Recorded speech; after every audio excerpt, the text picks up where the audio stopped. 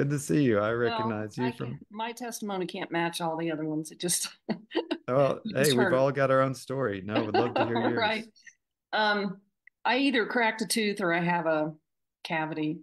And so I've been running the dental because it started feeling heat and achiness.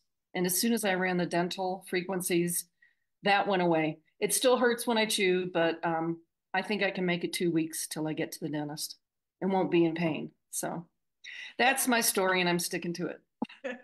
But that's huge. You may have protected your brain. You know, they are connecting dental infections with brain. So Right. you're protecting yourself. Perfect. I love it. Yeah, and I've had a cracked tooth, and that is painful. So the fact that you can that it's helping with that, that's amazing.